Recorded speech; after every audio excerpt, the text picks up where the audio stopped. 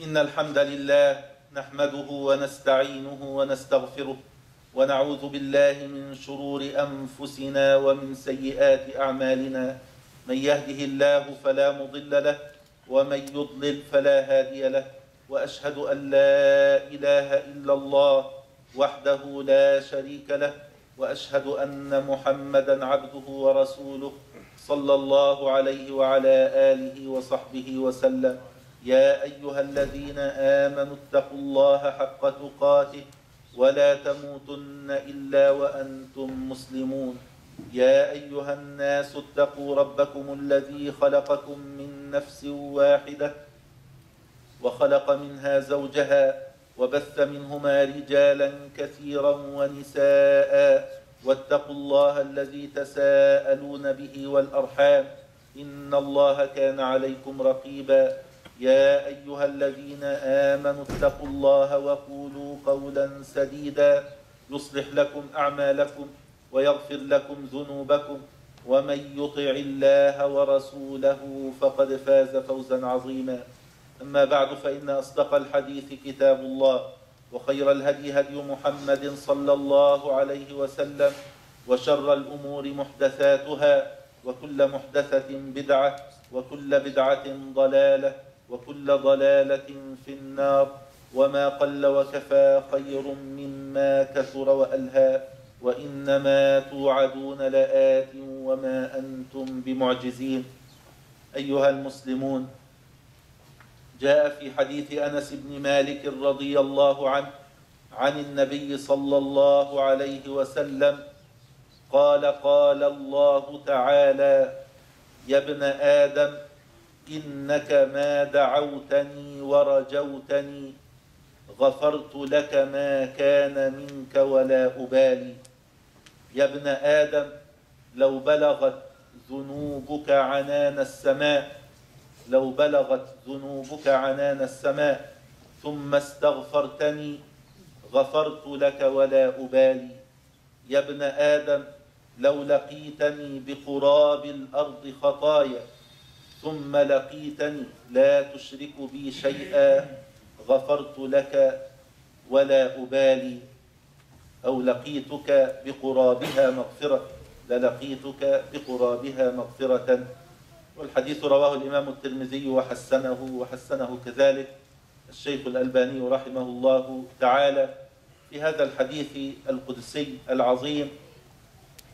من حديث أنس رضي الله عنه عن النبي صلى الله عليه وسلم عن رب العزة سبحانه وتعالى يذكرنا ربنا عز وجل بثلاثة أسباب عظيمة من أسباب مغفرة الذنوب. كل واحد من هذه الأعمال الثلاثة والأسباب الثلاثة كفيل بمغفرة جميع ما كان من العبد من الذنوب. فالله سبحانه وتعالى هو الغفور سمى نفسه الغفور سمى نفسه الغفار وذو مغفرة وإن ربك لذو مغفرة للناس على ظلمهم. فهو سبحانه وتعالى يغفر الذنب والمؤمن بحاجة إلى مغفرة ذنوبه ويتلمس أسباب المغفرة ويسعى للأخذ بها فهذا الحديث الشريف فيه الدلالة على هذه الأسباب الثلاثة لمغفرة الذنوب.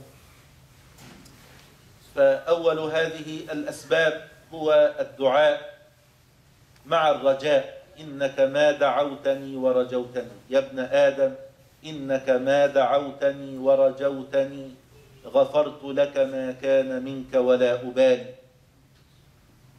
دعاء الله سبحانه وتعالى والدعاء قسمان دعاء ثناء ودعاء مسألة.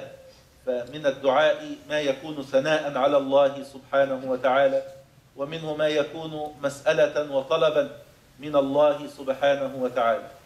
وأكثر أدعية القرآن والسنة يجتمع فيها الأمران فتجد صيغة الدعاء قسم منها ثناء على رب العالمين سبحانه وتعالى بأسمائه الحسنى وصفاته العلى وقسم من الدعاء مسألة وطلب من الله سبحانه وتعالى.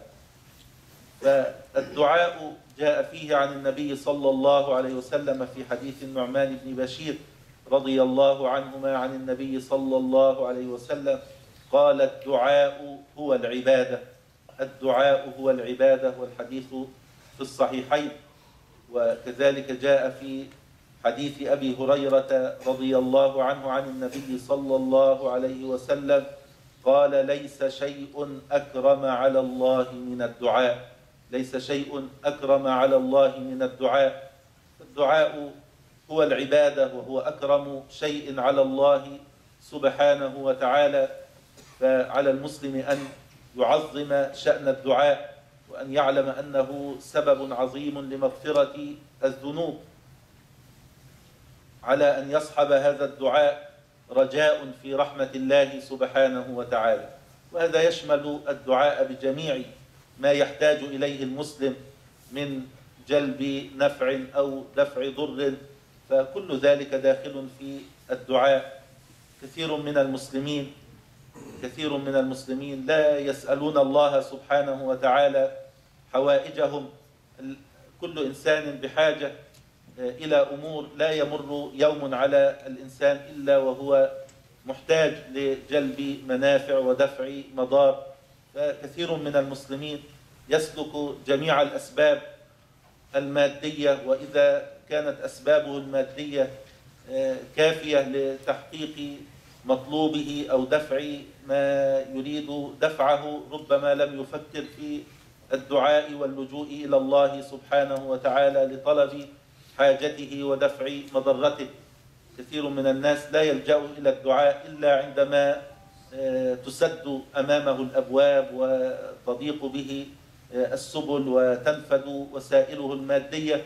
حينئذ يطلب من الله سبحانه وتعالى فهو يبدأ بالطلب من الناس ومن هذا وهذا وتعليق القلب بفلان وعلان وينشغل بذلك عن تعليق القلب بالله سبحانه وتعالى والطلب منه آه، أولا وآخرا وأن يكون الدعاء هو آه، أول الأسباب التي يأخذ بها المسلم لتحقيق مراده ومطلوبه إذا كان شفاء من مرض نجاحا في اختبار مشكلة في تجارته في أسرته في غير ذلك من الأمور والحوائج والمنافع.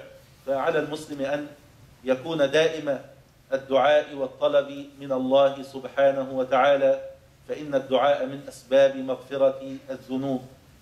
وعلى المسلم أن يرجو إجابة الدعاء وأن يعلم أن الله سبحانه وتعالى آه، هو الرب سبحانه وتعالى ومن معاني الرب الذي يربي عباده سبحانه وتعالى بما آه، هو أصلح لهم وأنفع لهم في دينهم ومعاشهم يربي عباده المؤمنين ويرشدهم إلى ما ينفعهم. فقد يؤخر الله سبحانه وتعالى عن العبد مسألته ليزداد اجتهادا وتضرعا إلى الله سبحانه وتعالى. فعلى المسلم إذا تأخرت إجابة مسألته أن يحسن الظن بالله سبحانه وتعالى وألا ينقطع رجاؤه من الإجابة وإنما يزداد اجتهادا في الدعاء. لا يقول دعوت ولم يستجب لي وإنما يسيء المسلم الظن بنفسه يقول لعل دعائي خلا من بعض شروط الإجابة لعلي قصرت في شيء من آداب الدعاء فيزداد تضرعا وإلحاحا على ربه سبحانه وتعالى في طلب مسألته. وليعلم المسلم أن الله سبحانه وتعالى في إجابة دعاء المؤمن فإنه سبحانه يجيبه بأحد ثلاثة أمور إما أن يعجله له في الدنيا يعجل له المسألة التي طلبها في الدنيا وإما أن يدخره له في الآخرة فيعطيه سبحانه وتعالى من الأجر العظيم الذي يجده عند الله تعالى بسبب دعائه هذا من حيث لا يحتسب فالدعاء ربح على كل حال. وإما أن يصرف الله عنه من السوء مثلها يعني قد يدعو المسلم يطلب شيئا من أمور الدنيا وقد لا يكون هذا الذي يطلبه خيرا له.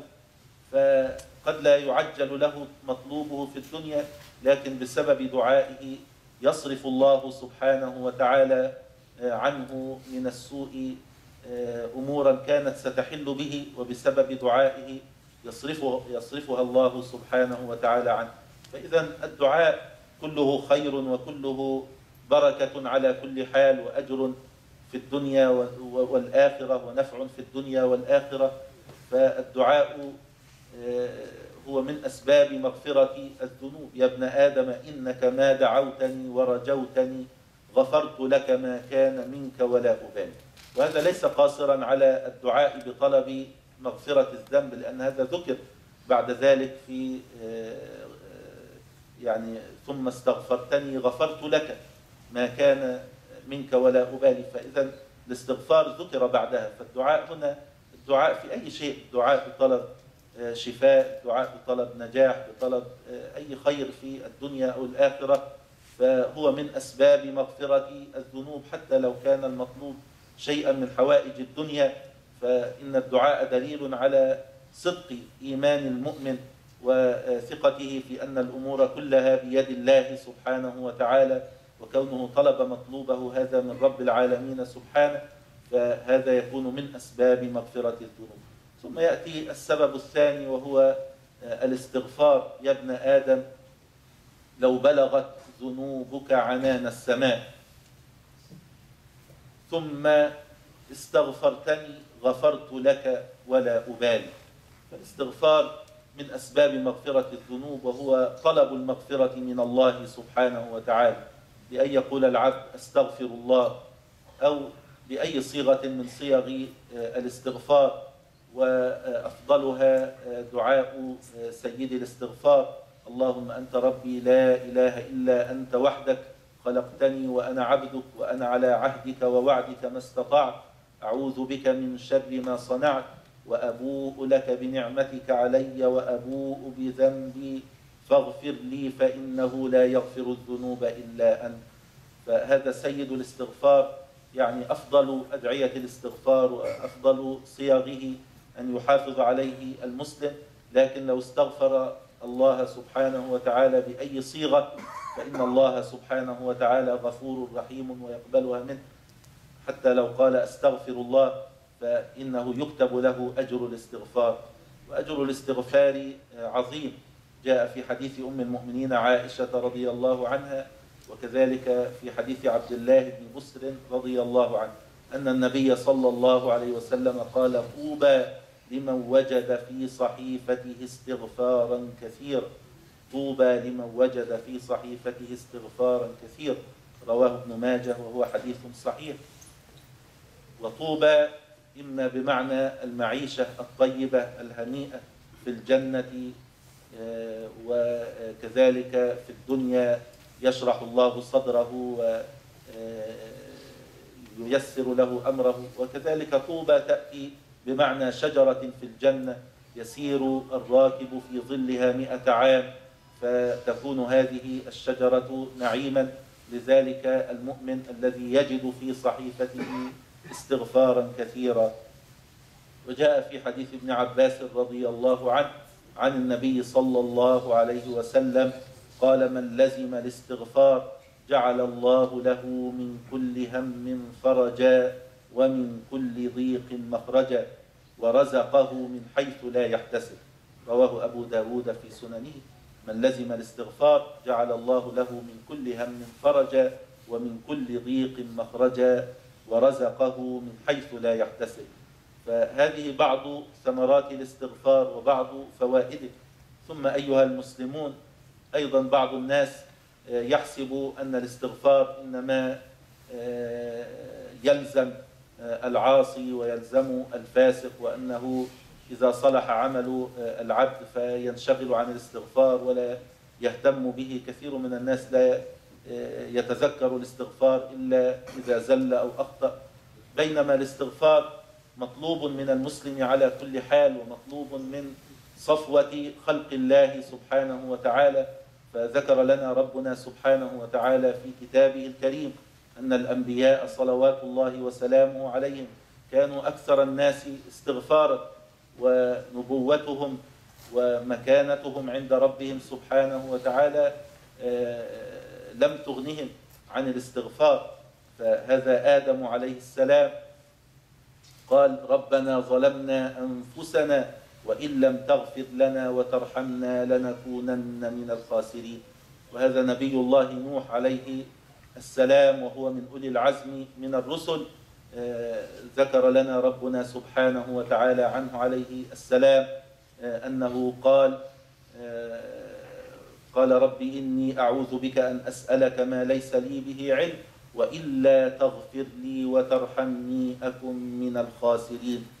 ذكر سبحانه وتعالى عن داود عليه السلام وظن داود أنما فتناه فاستغفر ربه. وخر راكعا وأناب وعن سليمان عليه السلام قال رب اغفر لي وهب لي ملكا لا ينبغي لأحد من بعد. وموسى عليه السلام قال رب إني ظلمت نفسي فاغفر لي. فغفر له. إلى غير ذلك من استغفار الأنبياء في القرآن الكريم. ثم نأتي إلى سنة المصطفى عليه الصلاة والسلام. نجد في الصحيحين من حديث عبد الله بن عمر رضي الله عنهما قال كنا نعد لرسول الله صلى الله عليه وسلم في المجلس الواحد يقول مئة مرة رب اغفر لي وتب علي إنك أنت الغفور الرحيم. وفي رواية إنك أنت التواب الغفور. يقولها عليه الصلاة والسلام مئة مرة أحيانا يعدها له الصحابة رضي الله عنهم في المجلس الواحد. ويقول النبي عليه الصلاة والسلام إني لأستغفر الله في اليوم أكثر من سبعين مرة. إني لأستغفر الله في اليوم أكثر من سبعين مرة. هكذا يقول عليه الصلاة والسلام عن نفسه عليه الصلاة والسلام وهو الذي قد غفر الله له ما تقدم من ذنبه وما تأخر. ومع ذلك يستغفر الله في المجلس الواحد مئة مرة وفي اليوم أكثر من سبعين مرة. فكيف بحال غيره من الناس كم يحتاج من الاستغفار كل يوم. فإذا الاستغفار مطلوب من المسلم في كل حال وفي كل وقت وحين. حتى الأنبياء صلوات الله وسلامه عليهم عليهم أن يستغفروا الله سبحانه وتعالى. فالاستغفار مطلوب كذلك بعد الأعمال الصالحة ليس فقط من الزلة والخطأ بل العمل الصالح يحتاج إلى استغفار مما يكون قد شابه من خلل أو نقص أو قصور فيكمله الاستغفار. فلذلك كان النبي عليه الصلاة والسلام كلما فرغ من صلاته أول شيء يقوله بعد السلام يقول أستغفر الله أستغفر الله أستغفر الله. ثلاث مرات أول كلمة يقولها بعد سلامه من الصلاة الصلاة عمل صالح لكنه يستغفر الله تعالى بعدها لما قد يكون شابه من قصور أو خلل أو نقص فيكمله بالاستغفار. كذلك الحاج يأمره الله سبحانه وتعالى عندما يفيض من عرفات بعد إتمام نسكه أن يستغفر الله سبحانه وتعالى فقال الله عز وجل ثم أفيضوا من حيث أفاض الناس واستغفروا الله. وذكر الله سبحانه المستغفرين بالأسحار الذين يستيقظون في وقت السحر وغالبا ما استيقظوا في هذا الوقت واستغفروا فيه إلا كان لهم عمل صالح أو صلاة أو دعاء ثم يستغفرون الله سبحانه وتعالى. قال والمستغفرين بالأسحار. فإذا الاستغفار يحتاج إليه المسلم وهو من أعظم أسباب مغفرة الذنوب وستر العيوب. نسأل الله سبحانه وتعالى أن ينفعنا وإياكم بما قلنا وسمعنا. أقول قولي هذا وأستغفر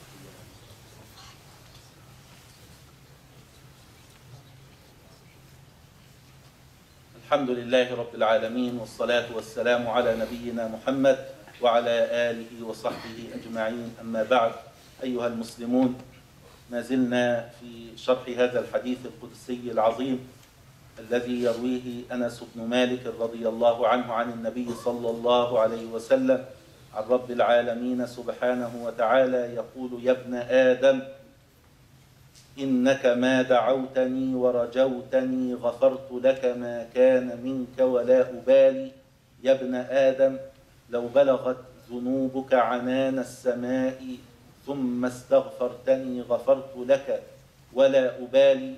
يا ابن آدم لو لقيتني بقراب الأرض خطايا ثم لقيتني لا تشرك بي شيئا لقيتك بقرابها مغفرة. وقراب الأرض أي ملء الأرض. لو لقيتني بقراب الأرض خطايا يعني لو لقيتني بملء الأرض خطايا ثم لقيتني لا تشرك بي شيئا لقيتك بقرابها مغفرة أي بملء الأرض مغفرة. فهذا من تمام رحمة الله سبحانه وتعالى وكرمه وجوده عز وجل. وفيه أن توحيد الله سبحانه وتعالى واجتناب الشرك بجميع أنواعه وأصنافه أنه من أعظم أسباب مغفرة الذنوب. فكمال التوحيد واجتناب الشرك بجميع أنواعه وأقسامه من أسباب مغفرة الذنوب.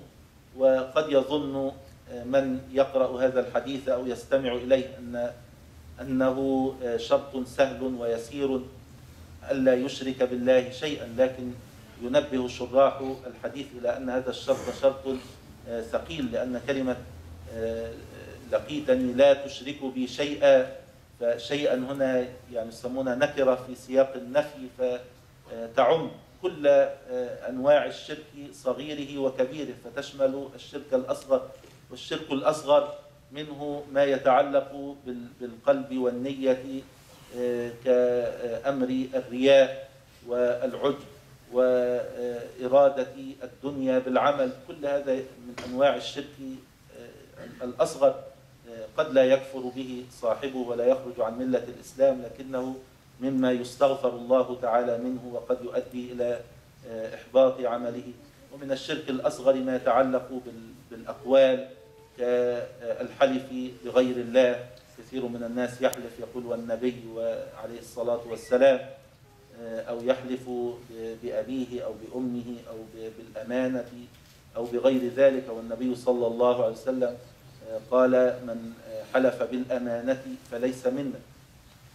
فعلى المسلم ألا يحلف إلا بالله تعالى. النبي صلى الله عليه وسلم يقول من حلف بغير الله فقد أشرك. فهو من من الشرك الأصغر الذي ينبغي أن أو على المسلم أن يطهر لسانه منه ويكفره بكلمة التوحيد. فيقول إذا وقع في شيء من ذلك فيقول لا إله إلا الله. وكذلك من الشرك الأصغر قول ما شاء الله وشئت ولولا الله وأنت.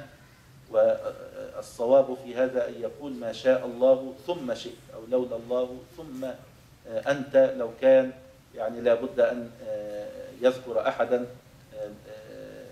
من الناس فيجعله بثم فهذا من يعني كلمة ما شاء الله وشئت ولولا الله وأنت هذا من الشرك الأصغر كما نهى عنه النبي صلى الله عليه وسلم. عندما سمع رجلا يقول ما شاء الله وشئت قال أجعلتني لله ندا وأنكر ذلك عليه الصلاة والسلام وأرشد أن يقول ما شاء الله ثم شئت أو لولا الله ثم فلان. فإذا هذا من الشرك الأصغر القولي وكذلك هناك شرك أصغر عملي بالأعمال أو بالجوارح كتعليق التميمة. وهي كل ما يعلقه الناس لدفع الضرر أو دفع العين أو الحسد أو كذا. بعض الناس يعلق حدوة حصان أو أو يعلق نجمة بحر أو صورة كف أو دماء أو أشياء من هذا القبيل يظن أنها تدفع عنه الحسد أو تدفع عنه العين. كل ذلك من أصناف الشرك الذي حذر منه النبي عليه الصلاة والسلام.